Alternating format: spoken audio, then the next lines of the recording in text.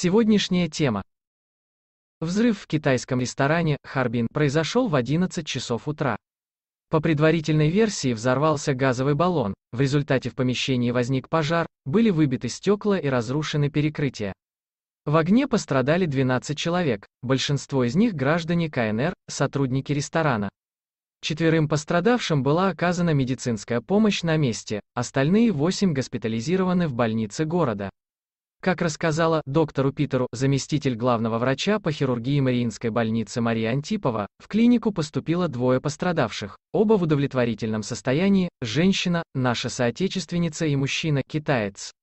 Оба с многочисленными ушибами и порезами. Им была оказана первая медицинская помощь. Компьютерная томография у женщины серьезных нарушений не выявила, ее не госпитализировали.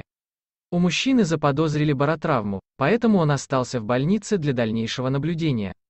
Трое пострадавших с обширными ожогами поступили в ожоговое отделение в НИИ скорой помощи им.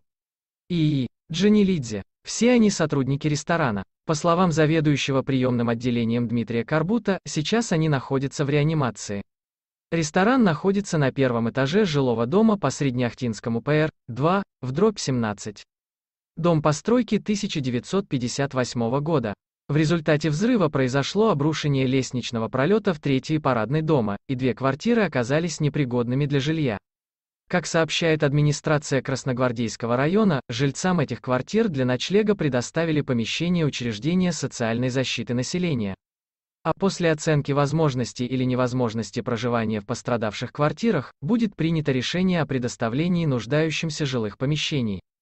Граждане, пострадавшие от взрыва, могут обращаться по любым вопросам по телефону дежурной службы администрации Красногвардейского района 227 43 64.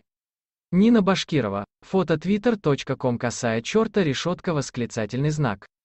Джагай. Ставь лайк и подписывайся на наш канал.